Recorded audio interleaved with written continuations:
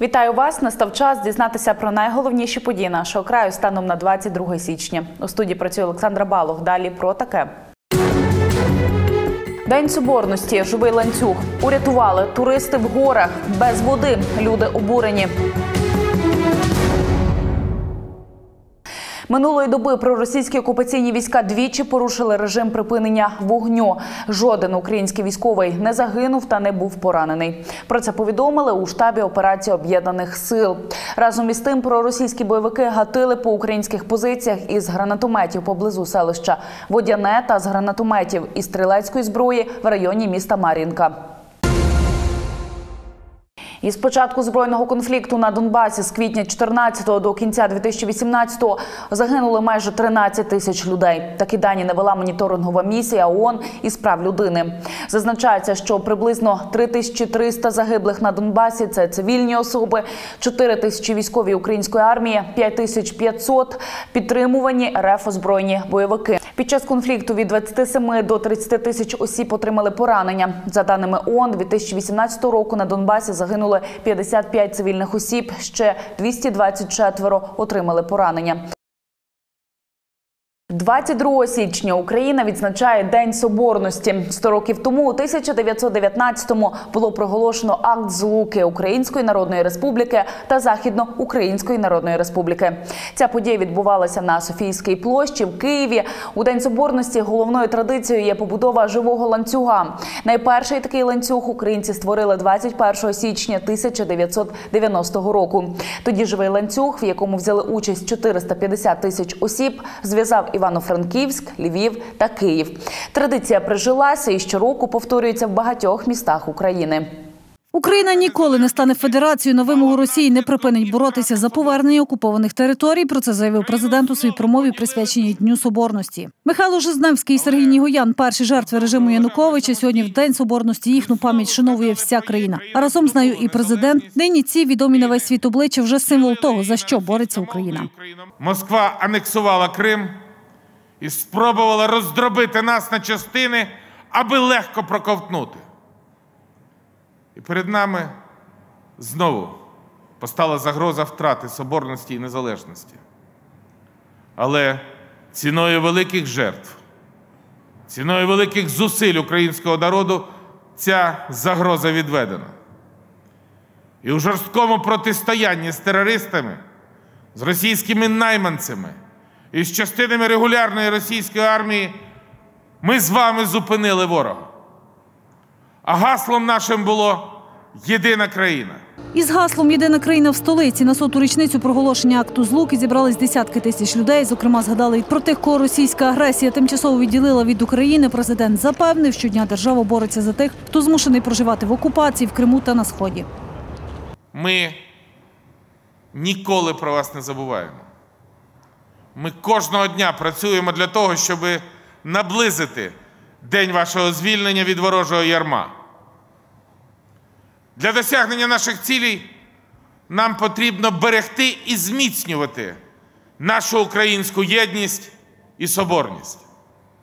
А тому всім має бути чітко зрозуміло, Україна є унітарна держава з одною державною мовою. Так, записано в Українській Конституції. І жодних федерацій, і ніяких спеціальних статусів. Єдина, незалежна, соборна Україна. А гарантом того, що цю єдність ніхто і ніколи не забере, підкреслив президент, буде економічно сильна, духовно незалежна Україна, яку захищатиме сучасна армія, підтримуватимуть західні партнери і розвиватимуть активні люди в кожному окремому регіоні.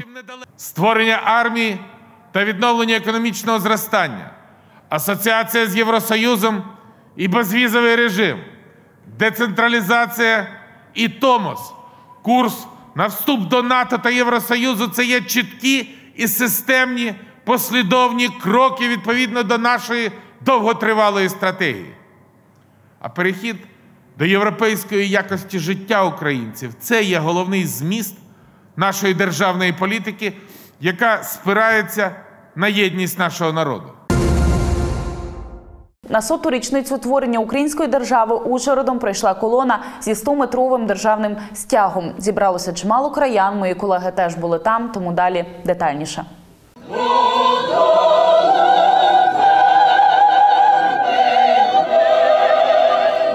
Поклали квіти біля підніжжя пам'ятника Кобзарю, помолились за Україну, відзначити День Соборності та 11-ту річницю з дня проголошення акту злуки в Ужгороді зібралось кілька сотень містян. Пан Юрій приїхав на урочистості зі Сваляви.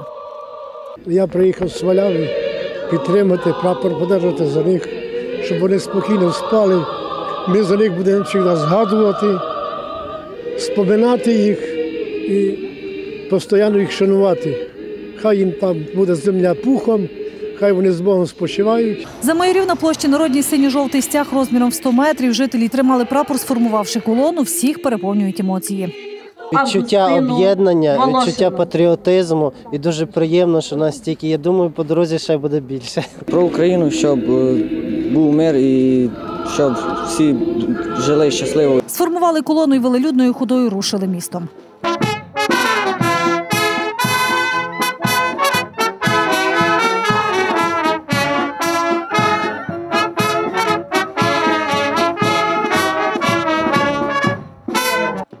Стометровий стяг несли з головної площі області набережної, зупинились біля пам'ятника Августину Волошину. Покладанням квітів шанували річницю утворення Закарпатської області в складі України.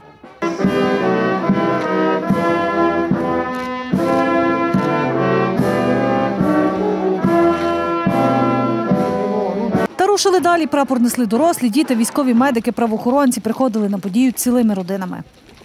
Для нас є навіть сімейне, сімейне свято, бо я завжди стараюся з донькою прийняти участь і прививати десь таку патріотичність і повагу, любов до своєї рідної батьківщини. Мені подобається е, ну, тут іти, приймати в цьому участь. Я горжуся нашою країною. Йшли не поспішаючи, згадуючи бажання про мир, оркестр супроводжував ходу урочистою музикою. І Геннадій Москаль розповідає, під час ходи згадував ланцюг єдності, котрий українці утворили 20 років тому цього ж дня. На День Злуки, значить, е, е, аж був до передавався в Херсонську область е, вдоль е, е, е, траси Сімферополь е, е, на виході КПП Чонгар. Можливо, я ще встану у тот е, шеренгу, яка буде від Симферополя назад по дорозі єднати Крим з Україною. Прапор пронесли центральними вулицями міста по обидва боки ужа, а завершили гаслом, що Україна єдина, соборна на пішохідному мості.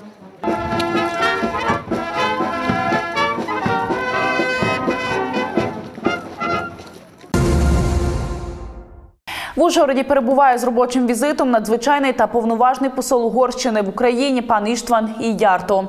Дипломат зустрівся із керівниками області Михайлом Грівісом та Геннадієм Москалем. Доброго дня. Доброго дня. Доброго дня. Доброго дня, пане генеральний консул. Це перший офіційний візит представника Угорщини. За закритими дверима посадовці спілкувалися близько 45 хвилин. Після чого дипломат запевнив, що зустріч була змістовною. Минулий рік пан Ідярту назвав складним, однак відзначив, що вже на початку 2019-го відбулися суттєві зміни в українсько-угорських стосунках. Я запевнив пана губернатора, щоб це позитивне зрушення перетворилося у позитивний процес, адже це неприродньо, щоб Угорщина і Україна були в поганих стосунках. У нас спільні цілі, у нас багато схожих проблем. І те, що дуже важливо, щоб усі усвідомлювали, що між українцями та угорцями упродовж довговікової історії проблем не було і тепер не має бути.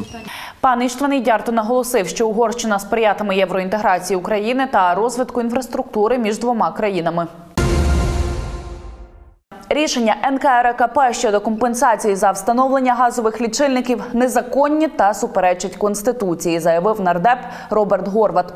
Національна комісія, що здійснює державне регулювання у сферах енергетики та комунальних послуг, прийняла постанову, котра фактично дозволить операторам газорозподільних мереж стягувати вартість лічильників при їхньому встановленні чи заміні безпосередньо зі споживачів. Відповідне рішення нацрегулятор ухвалив 14 грудня 2018 року. Це у понеділок, 21 січня, на власній сторінці у соцмережі Facebook повідомив народний депутат України Роберт Горват. У випадку, якщо, наприклад, план розвитку оператора ГРМ затверджено тільки на 5 чи на 9 років, така компенсація відбуватиметься за кошти споживачів та буде закладена у тариф на розподіл природного газу, тобто відображатиметься безпосередньо у щомісячних платіжках за використаний газ. На думку Роберта Горвата, далі цитата подібними нормами нацрегулятор відверто підігрує газорозподільним компаніям та дає їм можливість зловживати своїм монопольним становищем, здираючи додаткові кошти із громадян. Більше того, українці опиняються у нерівних умовах, оскільки споживачі, які самі встановлюють лічильники, можуть розраховувати на компенсацію повної вартості від компанії постачальника. Роберт Горват також повідомив, що разом із народними депутатами Валерієм Лунченком та Василем Петьовкою спрямували запит із вимогою пояснити позицію НКРКП та підстави прийняття згаданої постанови безпосередньо до керівництва нацкомісії. Закарпатська поліція оштрафувала облавтодор за ями на дорозі. Працівники відділу безпеки дорожнього руху провели контрольне обстеження вулиць Прящівської та Берегівської об'їзної. У Мукачеві там встановили значну ямковість, глибина деяких ям сягає 30 сантиметрів, колійність та напливи, пошкоджені узбіччя. Окрім того, на цій ділянці не виявили жодних попереджувальних знаків, які б інформували водіїв про незадовільний стан проїжджої частини.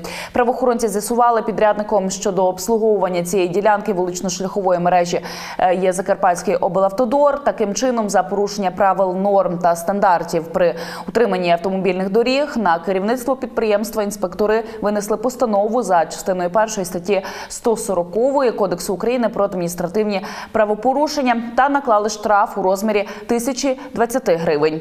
Натомість в області кажуть, берегівська об'їзна дорога державного значення. Кошти на її ремонт повинна виділяти держава. А на деякі ділянки вже виготовлені проектно-кошторисні документації. Щойно дозволять погодні умови. Ремонт відновлять. Воно чітко визначено постановою Кабінету міністрів, що ця дорога є державного значення. Ну, державного в плані тому, що вона є міжнародна. Вона яка з'єднує пункти перетину зі сторони Угорщини і до Київ-Чоп, і вона в сторону Ужгорода і в сторону е- Львівської області. Тобто є чітко визначено, що ця дорога об'їзна вона належить до е, на балансоутримувачем, якої є служба автомобільних доріг в Закарпатській області. Дійсно, е, треба звернути увагу керівництву Укравтодору, що ну, в такому стані дороги не можуть бути. І хоча б якісь фінансування передбачити, можу відмітити, що у нас є також частина дороги, частина дороги об'їзної міста Мукачева, де 9 січня опублікований тендер. І ми надіємося, що свою частину, там 3 кілометри участку дороги, які колись робили, служба доріг і передала нам, то ми частину цю вже доробимо, то у нас частина закінчиться. Тобто зі сторони Пряшівської, от ця частина буде виконана. За словами голови ОДА, цей рік був дуже продуктивний у плані вирішення дорожніх ремонтів. І щойно справді дозволить погода, дорожники знову приступлять до робіт із ремонту та відновлення автошляхів області. У нас е, тот рік був дуже тяжкий, бо треба було виготовляти паспорт дороги. Ніде не могли знайти, звідки, коли та дорога побудована. Більшість будували колгоспи, які розпалися, архівів нема і так далі. Е, Виготовити проєктно-кошторисну документацію, провести експертизу, провести тендер. Тот рік у нас працювало 20 дорожніх компаній. Тому що за рік, скільки ми зробити би не могли одною дорожньою. Ну я прийшов, тут був автодор, мав три таких сільських хати, значить, і варив там е- трошки асфальту, щоб хватало е- робити ямковий ремонт. Майже півтора десятки рятувальників шукали у понеділок заблукалого на гимбі лижника. 35-річний харків'янин цілу ніч був сам у горах. Йому вдалося вижити та дочекатися допомогу. Детальніше Світлана Комлєва далі. Втомлені та все ж усміхнені. Ці рятувальники щойно завершили операцію з порятунку туриста. Лижник, який заблукав напередодні на горі Гимба, живий. Його вже відвезли до місця проживання. З ним пропав зв'язок десь біля третьої години дня. Ну, але з нами ну, жінка думала, що прийде, прийде, до нас не телефонував, не повідомляла. Потім вже повідомила вже 23 годині, коли вже почала дуже переживати за нього. 35-річний харків'янин планував з вершини гори спуститися до Шипота та втратив орієнтир. Протягом ночі він був поза зоною і вийшов на зв'язок лише вранці. Самостійно йому вдалося спуститись з гори до села Березники Свалявського району. Багато разів переходив річку, бо там таке, е, як спускатися туди з тої сторони гемби, там е, дуже багато разів треба переходити річку. І він намочив ботинки, ну, ноги намочив. І дуже йому тяжко було йти вже, але він держався. Що допомогло вижити, фрірайдер Андрій розповів нам телефоном. У мене були запасні теплі, теплі реч- речі. Вони мені дуже допомогли. Балончик був ще, я розпалив костюм. Я не зупинявся, тому і допомогло. Бо я, якщо я б зупинився, я б, мабуть, і не дійшов. Я йшов Все время йшов. Щоб вижити в таких екстремальних умовах, рятувальники радять завжди мати при собі сірники або запальничку, термос з чаєм, запасний одяг та компас. Ніколи не нехтує цими порадами фрірайдер з Дніпра Дмитро. Во фрирайде главное думать головой, то есть куда ехать. Надо а, просматривать маршруты, консультироваться у местных ребят, а, узнавать уровень опасности лавинной, вот, если не идти в туманы, в общем, надо быть подготовленным. В рюкзачке у меня а, спасательное одеяло, компас, а, лопаты мы не брали, вот. Ну, вообще нужен, до- должен быть еще а, щуп, лавинный, лопата, бипер. Ну, свисток тоже помогает, если где-то а, вы далеко, чтобы вас было дальше слышно. Каже, сьогодні погода ідеальна для фрірайду. Видимість чудова, однак у гори йде не один, а з друзями. Еще одно самое главное правило – ходить э, с кем-то, потому что одному даже не обязательно фрирайдить. Можно тут в лес заехать, попасть в колодец под елку, и одному оттуда тяжело будет выбраться. Вот так тоже были случаи. Велике значення має фізична підготовка лижника. Тож, щоб подорож у гори не закінчилась трагічно, не варто переоцінювати свої сили, а обирати маршрути та траси, які вам до снаги. А щоб такі історії не траплялися, рятувальники закликають дотримуватися правил поведінки у горах, як діяти у разі небезпеки та що варто пам'ятати, знають мої колеги. У зимовий період туризм на Закарпатті є найбільш популярним. Помилуватись красою гір та підкорити вершини є багато охочих. На жаль, через порушення правил безпеки з початку року рятувальниками гірської пошукової рятувальної частини вже здійснено 55 виходів та виїздів у гори. Зокрема, було надано ще 26 громадянам медичну допомогу, які травмувалися внаслідок катання на лижах або сноубордах чи з інших причин. На жаль, цього року вже є один летальний наслідок необережного катання у горах. Троє фрірайдерів заблукали на схилах гори Гимба. Двох вдалося врятувати. Ми маємо один летальний наслідок. Це турист з міста Києва, який, на жаль, загинув у горах. Сталося це на Різдво. Тоді до нас надійшло повідомлення від групи туристів, що вони займалися фрірайдом на схилах Гимби, заблукали.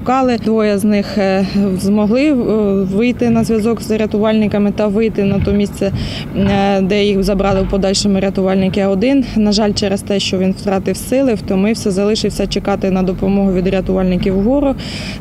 Його координату, там, де його залишили, було передано рятувальникам при зустрічі з тими двома сноубордистами, які все ж таки змогли здолати схили гимби. Ну і в подальшому, на жаль, його було виявлено вже мертвим. Щоб ваше перебування у горах було безпечним, варто дотримуватись кількох правил. Якщо ви збираєтесь у туристичний похід, то насамперед потрібно зареєструватись у рятувальних підрозділах. Звернутись можна дуже просто, якщо ви зовсім не знаєте телефону, можна зателефонувати на 101, і дівчата диспетчера зв'яжуть вас із гірськими рятувальниками або порадять, куди краще зателефонувати.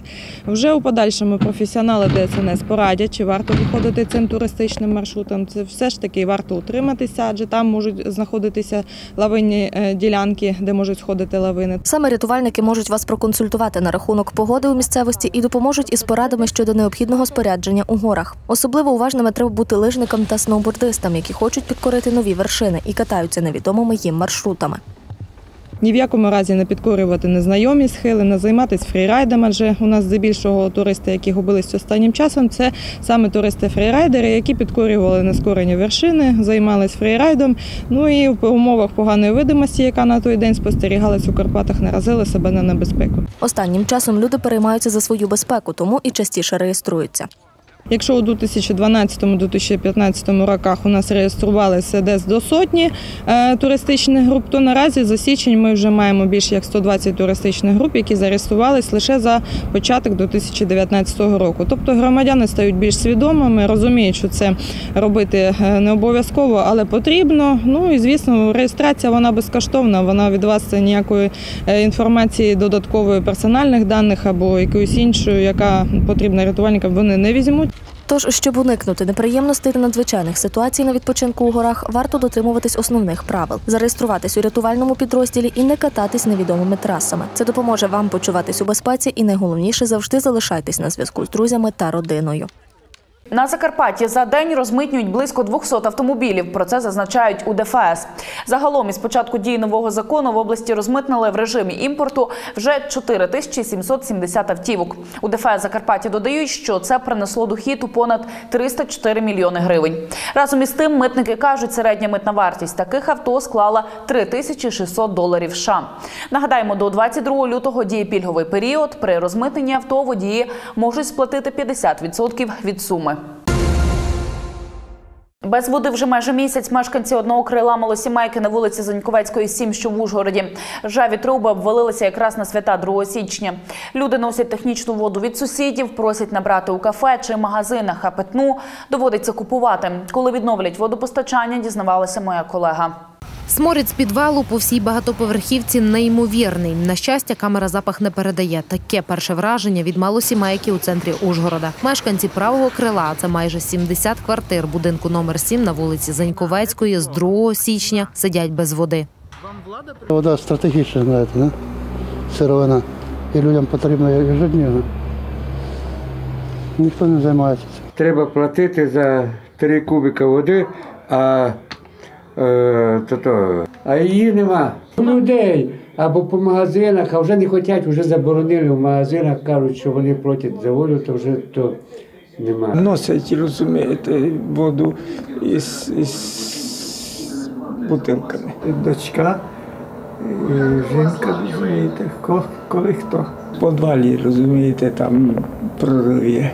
Будинку понад 40 років і ржаві труби не витримали й обвалилися. В підвалі стоїть вода, звідси і сморід, і антисанітарія. Труба, яку е, десятиліттями ніхто ніколи не обслуговував, ніяк не витримала. Вона віджила своє, е, згнила і впала на підлогу. 6 січня е, частково вдалося відновити водопостачання, але, як кажуть е, сусіди, що там воно вже в тому місці, де його під'єднали кое-як, воно вже знову сльозиться і знову проре. Ну і не буде води опять-таки в усьому будинку. 300 тисяч гривень. Така сума потрібна для відновлення водопостачання у будинку. Мова йде про заміну майже 600 погонних метрів труб. Самотужки відремонтувати аварію жителі малосімейок не в змозі. За фінансовою підтримкою від імені мешканців голова ОСББ звернувся до міської влади. Питання розглянули депутати на останній сесії Ужгородської міськради 18 січня 2019 року. прийняли е, рішення про виділення коштів в сумі 239 тисяч 200 гривень для того, щоб цю ситуацію вирішити і щоб мешканці нашого міста мали якісне водопостачання за- кошти бюджету нашого міста. Це 80% необхідної для ремонту суми. Решту вже зібрали з мешканців будинку. Найближчим часом відновлення водопроводу розпочнеться. Проте обсяг робіт суттєвий і тривалий за часом. Тому ще кілька місяців людям доведеться обходитися без води. Користуючись нагодою, голова ОСББ звернувся до жителів малосімейок, аби попередити подібні ситуації в майбутньому. Зрозумійте, що зараз ви самі керуєте своїм будинком.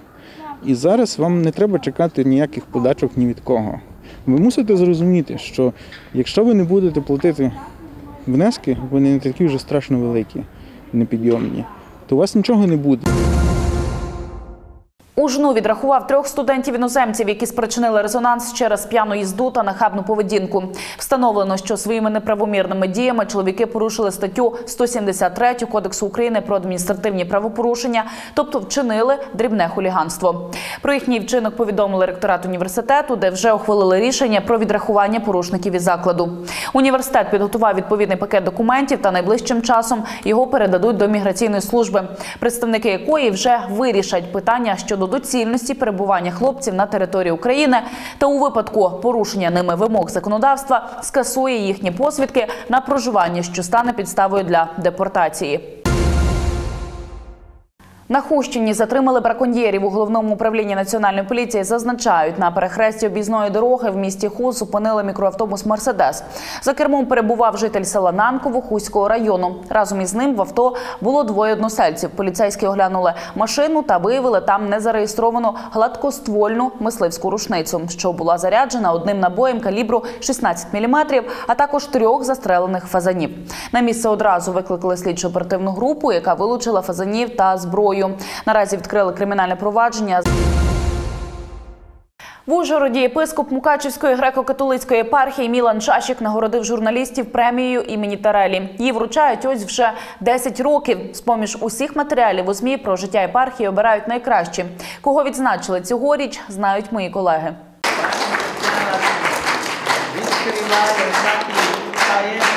За серію краєзнавчих статей у книгах Втрачений Ужгород письменницю Тетяну Літераті нагородили премію імені Йосипа Терелі. Це вже її третя відзнака. Письменниця каже, що майже в кожній статті до воєнного життя ужгородців йдеться так чи інакше й про Мукачівську греко-католицьку єпархію. Комусь єпархія надавала навіть кредити на будівництво їхніх будинків. І коли я розповідаю, а оцей будинок в ньому жила така то людина, то ведеться про те, що кредит їй надала єпархія. Нині це якось незвично, але так і є. В інших статтях, наприклад, хтось одружувався в соборі. Премією Терель відзначили і Тетяну Лешко. Вона вже 16 років працює в телевізійній журналістиці. Цього разу у центрі уваги її публікація у газеті про дерев'яні церкви краю. Матеріал готувала два роки тому. Пригадує, що тоді на Великоберезнянщині одна з громад села не зовсім приязно зустріла журналістів. Про дерев'яні церкви Закарпаття варто розповідати. Там є що розповідати, е, попри те, що ми частину з них втрачаємо. Журналістську премію імені Йосипа Терелі вручають ось уже 10 років. На жаль, теж видимо, що кількість журналів, їх тираж поменшується, зростає більше уже засоби масової інформації через інтернет. І це мусимо брати до уваги також і при уділянні цієї премії. Також владика Мілан наголосив на цікавих та важливих подіях в житті єпархії минулого року, а церковний хор завінчував усім присутнім.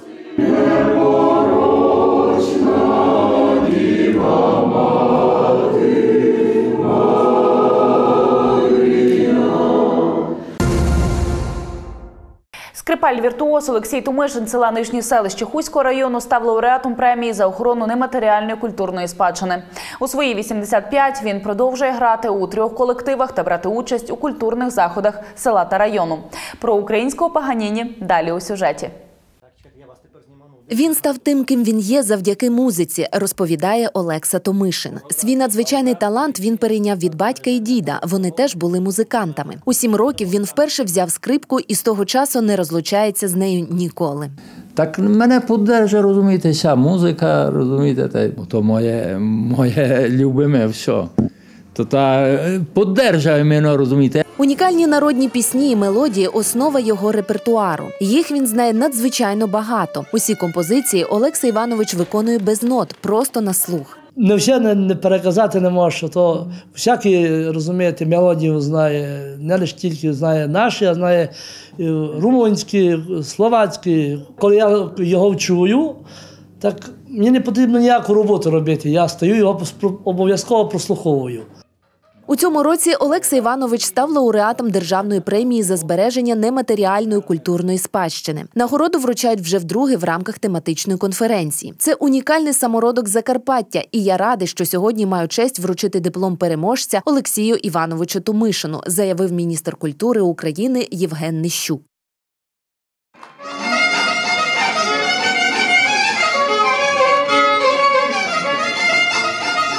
Восени пан Олекса тяжко травмував хребет, довго лікувався і два місяці не міг пересуватися. Музика і його рідна товаришка скрипка допомогли йому подолати недугу і підняли його на ноги. Отримувати нагороду до Києва він приїхав особисто.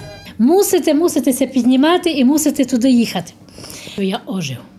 Я іду, мене везуть внуки. Може мені шкодить, кажу, то, то нагрузка. Як ото ваше піднімати здоров'я поддержує вас.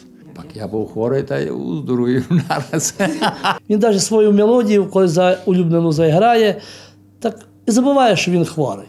У рідному селі і в колективі пана Олексу дуже люблять і поважають. Колеги кажуть, що він ніколи не дає їм розслаблятися і тримає в тонусі. На фестивалі Хустинська долина, учасником якої він є, увесь зал врочисто привітав улюбленого скрипаля з отриманою нагородою. ему на многое и благое